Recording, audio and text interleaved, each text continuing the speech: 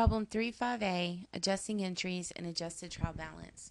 In Chapter 2, you learned about journal entries, debits and credits, posting to ledgers, and the unadjusted trial balance. In Chapter 3, you learned about adjusting entries and the adjusted trial balance. So let's take a look at Problem 35A. In Transaction A, it states unexpired insurance at July 31st is $4,800. If you look at the unadjusted trial balance that is presented on page 141, you can see that the prepaid insurance account has a debit balance of $7,200. What we're going to do is we're going to deduct the ending balance of 4,800 from the 7,200, and we determine that the insurance expired for that particular period is $2,400. So we're going to debit insurance expense by 2400 and credit prepaid insurance by 2400 We're going to increase the expense account and decrease the asset prepaid insurance account. When we post this particular entry to the ledgers, once it is completed, you will see that the prepaid insurance account will now have a balance of $4,800. Transaction B states supplies on hand at July 31st is $600. You can see by looking at the unadjusted trial balance on page 141 that supplies has a debit balance of $1,980. We're going to deduct the $600 supplies on hand amount from the 1,980, and we determine that supplies used for the period was 1380 so we're going to debit supplies expense for 1380 and credit supplies for 1380 when we enter this adjusting entry into the ledgers we will see that the supplies account will now have a balance of $600 in transaction C, it states depreciation of the building for the year is $3,100. Depreciation expense is debited for 3,100 and accumulated depreciation for the building is credited for 3,100. Accumulated depreciation is actually a contra asset account, which means it contradicts the asset that it belongs to. And in this particular case, the asset is the building and accumulated depreciation is the contra asset to building. The difference between the building account and accumulated depreciation for the building account is known as the book value. So the building has a debit balance of $200,250. If I deduct an additional $3,100 and add that to the accumulated depreciation account, we then end up with a new balance and a new book value. This will update every single month as we record the depreciation for the building.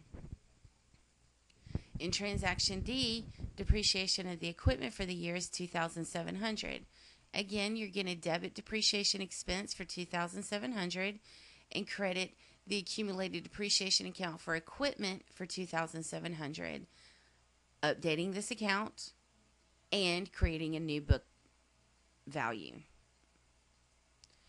In transaction E, it states that the rent unearned at July 31st is 1750 if you look at the unadjusted trial balance on page 141, you can see that the unearned rent account has a credit balance of 6750 Unearned rent is a liability. It is a liability that is incurred when a customer of yours prepays you for services that you have not yet rendered. And in this case, somebody has prepaid their rent to you.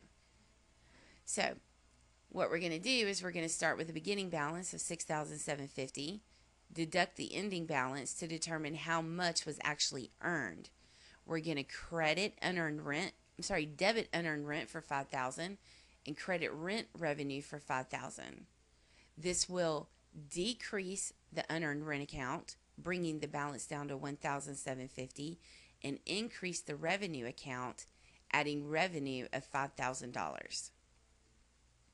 I also want you to think of unearned revenue accounts in the instance of a lawyer.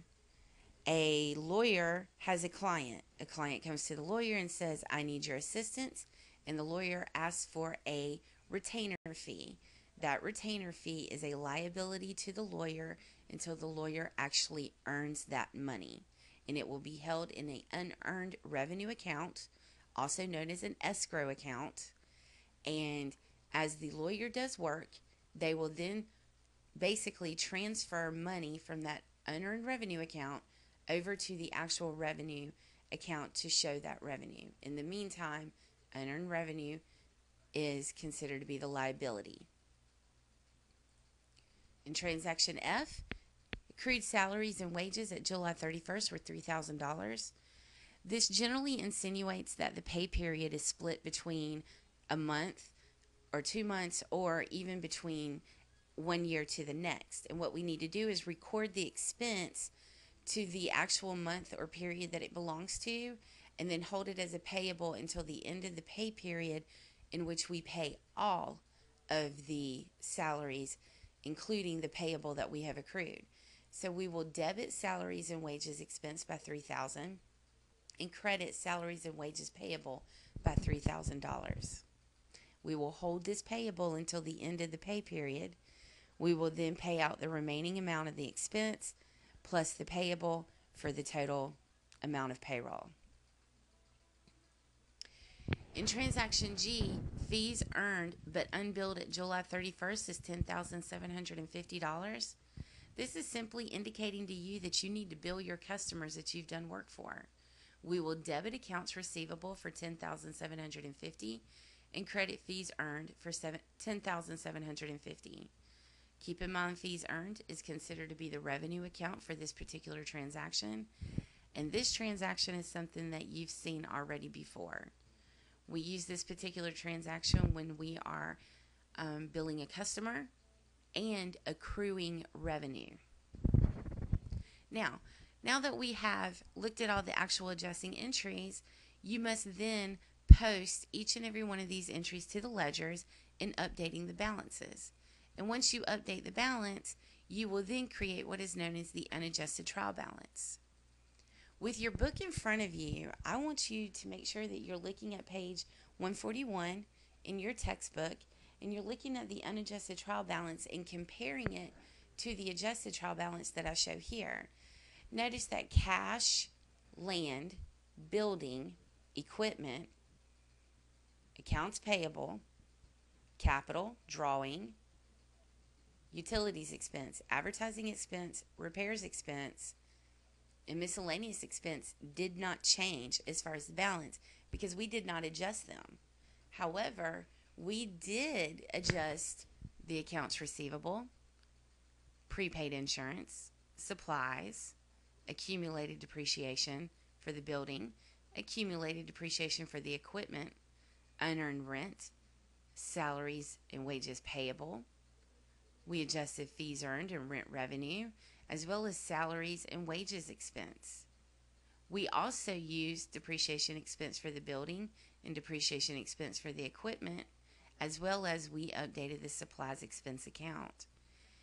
What you will do is you will create the unadjusted trial balance after every adjusting entry set is completed and from the adjusted trial balance, you can then build all of your financial statements. We learned about the financial statements in chapter one. We used the information that was presented to us. However, from this particular statement here, as long as you're balanced, you can feel pretty confident to go ahead and build your income statement, your statement of owner's equity, as well as your balance sheet. This concludes problem 35A. You may continue with your studies.